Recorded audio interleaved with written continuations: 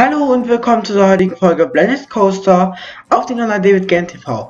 Leute, heute gibt es mal wieder eine Timelapse und heute werde ich ganz einfach ein neues Gebäude bauen. Und ja, die Timelapse habe ich jetzt mal 300 genommen. Ich habe die jetzt von 30 Minuten auf 10 Minuten runtergetrimmt. Und das, ja, denke ich mal, ist eine ganz angenehme Geschwindigkeit.